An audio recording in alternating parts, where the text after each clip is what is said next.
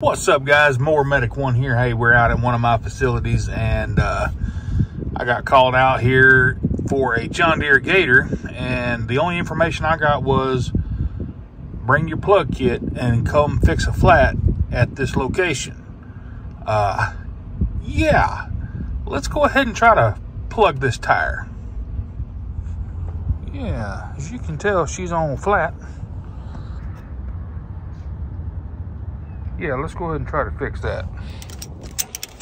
Guys, I'm not set up to do tire changes out in the field, so we gotta bring her back to the shop. that seat's looking pretty ragged, but they have wore this tire completely down. Look at there.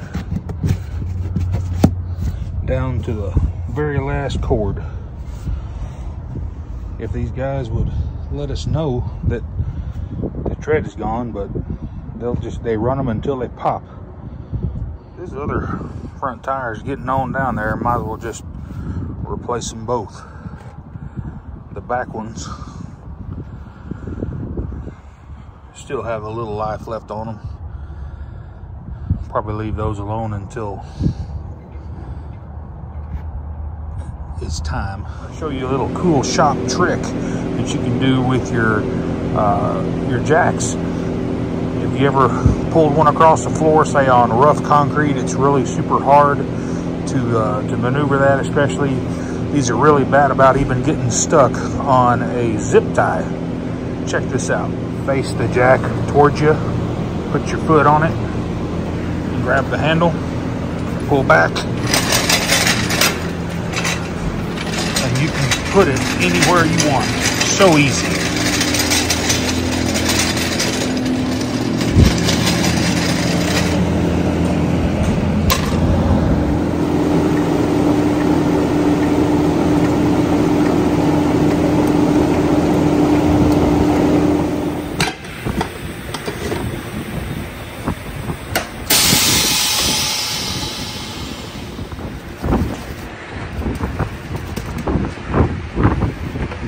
Can almost install these balloon tires by hand.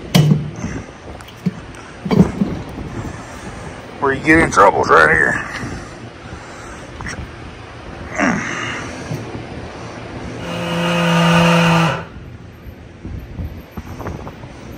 Now these tires are directional. So the next one you mount, you have to turn it around. Ready to slide the tires on, but check this out right here.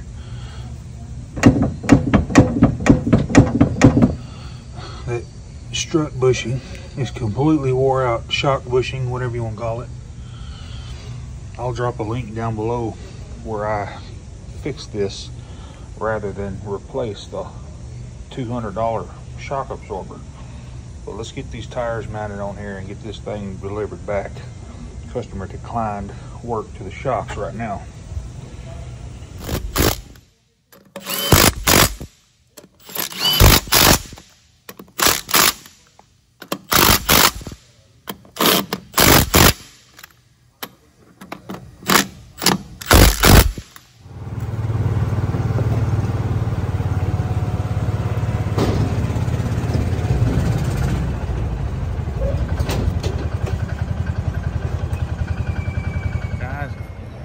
Hope you enjoyed this little tire replacement video.